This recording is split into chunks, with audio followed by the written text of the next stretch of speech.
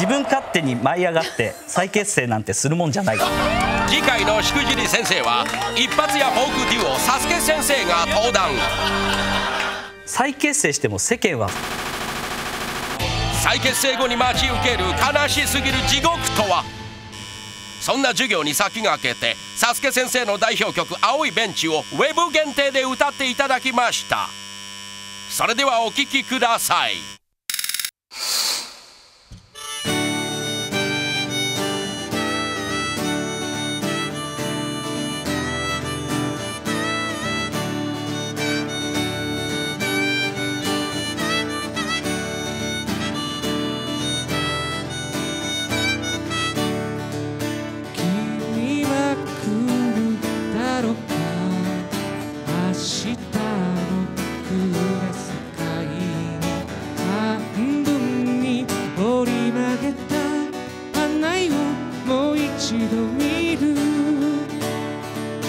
付き合ってたこと僕ら手をつなぎながら歩いた並木道たくさんの人が行くよ。あいつも僕が待たせた駅で。つない。君を探すけど。この声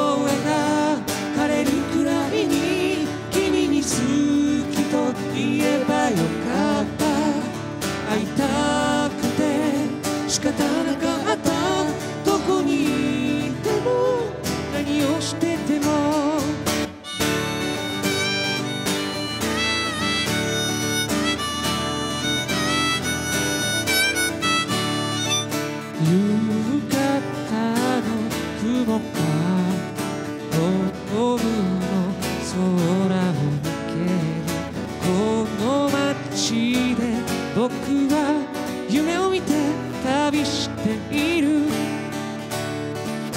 ああ青いベンチ腰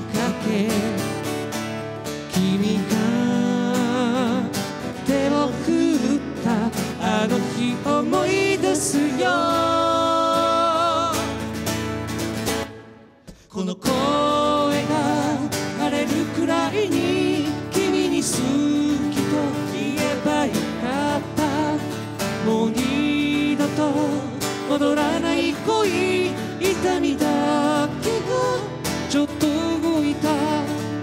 あ季節は思ったよりも進んでて思いをかき消して。気づかないこと遠く。この声が枯れるくらいに君に好きと言えばよかった。会いたくて仕方なかった。どこにいても何をしてても。この声が君